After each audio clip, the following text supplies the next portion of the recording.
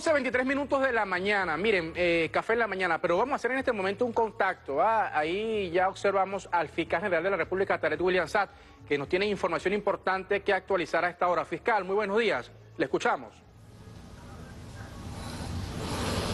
Buenos días tengan todos ustedes, pueblo de Venezuela. Con el debido respeto nos quitamos la obligatoria mascarilla para el día de hoy anunciar a la opinión pública el desarrollo de la investigación en relación a una nueva trama de pago de sobornos que involucra a una especie de cartel que hemos ido desarticulando poco a poco, pero que tiene entre su principal capo, cobarde, prófugo de la justicia, al tristemente célebre Rafael Ramírez. Tiene que ver, como ya se sabe, una investigación por esta trama de pago de sobornos que ha sido conocido en esta misma semana vía Noticia Criminis, donde aparece, aparte de este sujeto, Rafael Ramírez, su primo hermano y principal testaferro, Diego Salazar Carreño, quien se encuentra, este último, privado de libertad y procesado por corrupción en el país. El Ministerio Público ha abierto una investigación para establecer y sancionar las responsabilidades a las que haya lugar con ocasión a la participación de la empresa española Ingelec en la trama de pago de sobornos a exfuncionarios del gobierno venezolano que lamentablemente desviaron su camino, no cumplieron con el código de ética que corresponde como servidores públicos y lamentablemente pues se comprometieron de forma irrita e ilegal a obtener adjudicaciones públicas, incurriendo los delitos de corrupción y legitimación de capitales.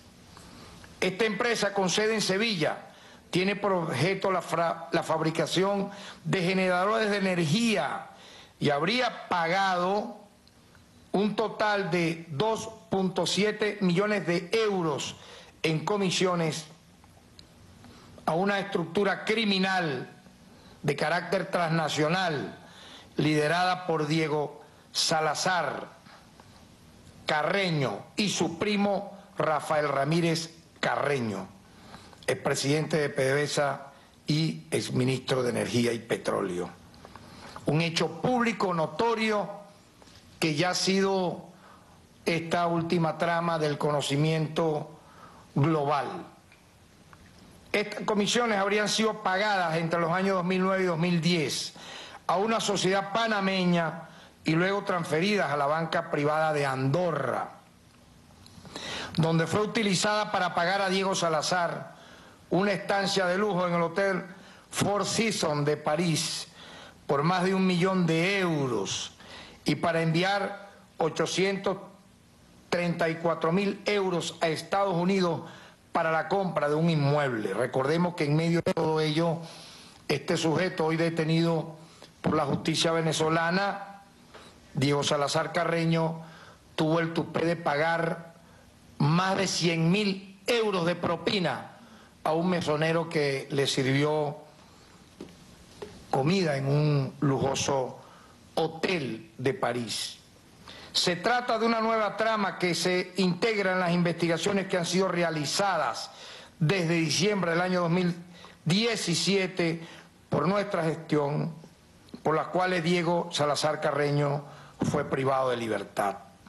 En base a estas investigaciones, el Ministerio Público acusó tanto a Salazar Carreño como a José Enrique Luongo por los delitos de corrupción pasiva simple, legitimación de capitales y asociación. Asimismo, posteriormente, fue detenido Elías Daniel Salazar Baracho y acusado por los delitos de legitimación de capitales y asociación. Los tres eran parte de esta organización criminal que se dedicaba a solicitar sobornos a empresas internacionales que a cambio obtenían contratos con PDVSA bajo el totalmente inmoral eh, dirección de Rafael Ramírez Carreño, como dije, primo hermano de Diego Salazar Carreño, quien ha fungido como su principal testaferro, entre otros. Estas comisiones se ocultaban en cuentas a nombres de empresas fachadas que estaban registradas en paraísos fiscales como Panamá, Belice y las Islas Vírgenes Británicas. La mayor parte de este dinero fue dirigido a cuentas en la banca privada de Andorra, donde este grupo criminal manejó una cifra que oscila aproximadamente entre los 1.300 y los, y los 4.200 millones de euros. Entre 1.300 y los, 1.000 y los 4.200 millones de euros solamente, solamente en Andorra. No significa que no haya, por ejemplo, en Suiza o en otros lugares.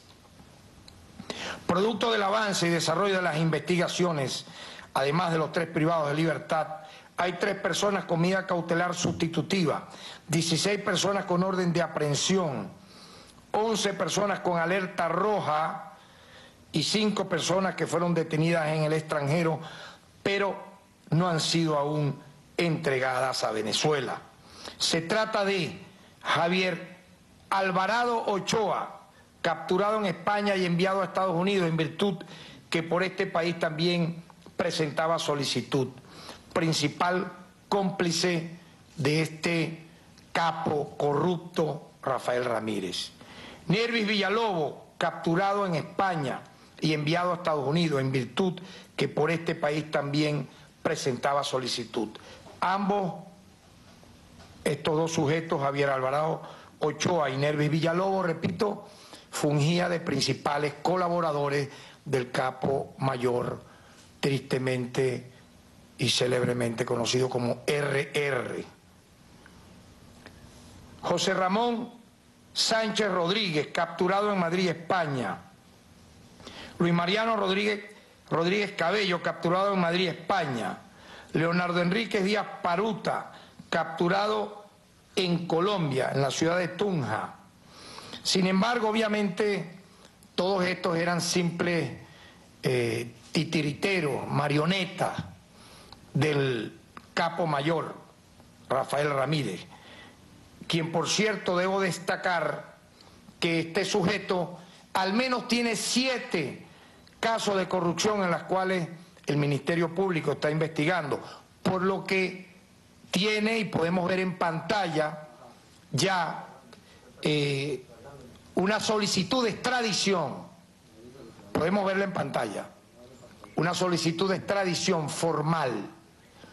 Y aparte de la solicitud de extradición, tiene también una solicitud de alerta roja a Interpol. Se le ha solicitado a Interpol que lo detenga en Italia, donde vive como un magnate, luego de haber esquilmado, robado, utilizando un lenguaje que no le corresponde a este sujeto, hablando de revolución, hablando de decencia, cuando ya hemos visto todo lo que aquí sale para vergüenza de quienes, tanto como a él y a los otros, lo acompañaron en hechos como estos que estoy mencionando. Este sujeto RR aparece vinculado en el caso del buque Petrosaudí Saturn, un buque chatarra por el cual él pagó un contrato de mil, mil millonarios para la explotación de, de gas costa afuera, aun cuando la mayor parte del tiempo estuvo inactivo. Un caso de malversación de fondos de PDVSA con la apropiación de contratos de bienes y servicios por más de 566 millones de dólares entre los años 2010 y 2015. Aquí también aparece investigado el expresidente de PDVSA, Eulogio del Pino, quien el Ministerio Público ha judicializado y ya está, como se anunció, en el pase a juicio junto con Orlando Chacín. Un caso por irregularidades en el otorgamiento de préstamos a la empresa Plástico Costa Oriental del Lago por medio de la Corporación Desarrollo de la Región Zuliana, Corpozulia. Un caso por presuntas irregularidades en el fondo de pensiones de los jubilados de PDVSA, abierto en agosto del 2018 por denuncia de los jubilados y pensionados del Estado Monaga. Todas estas tramas lideradas por este sujeto Rafael Ramírez, tramas totalmente vergonzosas, inmorales. En otros, entre otros, se suma también al caso que hemos expuesto el día de hoy, la trama de sobornos y lavado de dinero de Andorra que lo vincula directamente y lo coloca como el jefe de esta organización criminal, puesto que Diego Salazar Carreño no hacía nada sin la autorización y la certificación y el permiso de Rafael Ramírez. Como ya informamos en su momento, documentos que forman parte de la investigación desarrollada en Andorra refieren que el ciudadano Diego Salazar Carreño vincula e incrimina directamente a Ramírez como su socio. Esperamos que Italia, ante la solicitud que ha hecho de manera formal el Estado venezolano, entregue a este criminal para que responda ante la justicia con el debido, obviamente, eh, juicio que le corresponde con sus medios de defensa, etcétera. El que no la debe, no la debiera temer. Pero como estos sujetos la deben y bastante, están prófugos de la justicia, gozando el dinero que se robaron a costa de un, repito, de un lenguaje pseudo revolucionario que escondía todo esto a costa de intentar fraccionar, implosionar al propio Estado venezolano en su momento. Igualmente quiero recordar que este sujeto, prófugo de la justicia y toda la gerencia que lo rodeó en estos 10 años como presidente de PDVSA, son responsables de sembrar la corrupción en la industria energética más importante para el país. Quiero destacar igualmente ya para terminar, durante el periodo 2017-2020, el Ministerio Público, bajo nuestra gestión, ha develado ya más de 28 tramas de corrupción en PDVSA y sus filiales, las cuales significaron grandes pérdidas económicas para la nación, siendo posible individualizar la participación, óigase bien, de 194 funcionarios, de los cuales han sido judicializados 103. Es importante destacar que seis de las personas acusadas se acogieron al procedimiento especial de admisión de los hechos y tres de las personas condenadas se acogen al principio de delación. Han dado datos, han dado pistas de todos estos eh, inmorales que utilizando el nombre del Estado venezolano, repito, se dedicaron a robar para vivir, como dije, en ese exilio dorado en Europa.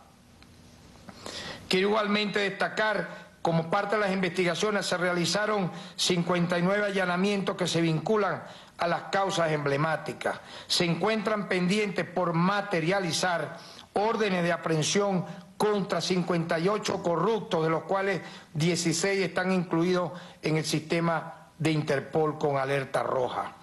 Quiero destacar que en esta batalla contra la corrupción, que es una batalla de carácter revolucionario, los corruptos son contrarrevolucionarios y así deben ser señalados ante la opinión pública.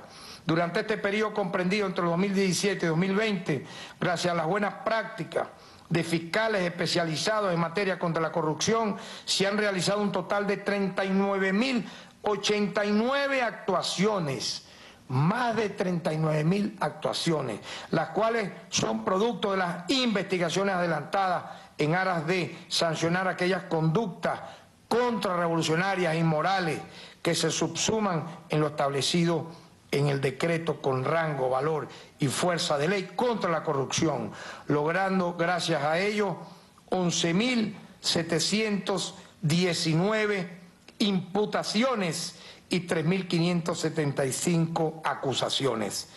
Erradicar la corrupción es una lucha diaria y constante, se ha convertido en una de nuestras principales banderas, es un elemento crucial de nuestra gestión para construir con los objetivos de desarrollo nacional y en pro del bienestar de nuestro pueblo. Allí donde conozcamos nosotros y los colaboradores, quienes han sido también cooperantes en esta lucha de un acto de corrupción, por muy pequeño que pudiera parecer, es un abuso de autoridad, es un atentado contra los derechos humanos, que en otra forma obviamente permea y termina como un delito de corrupción. Este Ministerio Público ha sido en nuestra gestión implacable para combatir este delito y así lo hemos demostrado. Hemos hecho una reunión, una mesa técnica con autoridades del TCJ durante esta semana y la semana pasada para agilizar las audiencias que culminen con las respectivas condenatorias contra todos estos corruptos que se han convertido en enemigos de la patria. Muchas gracias. Diferencia de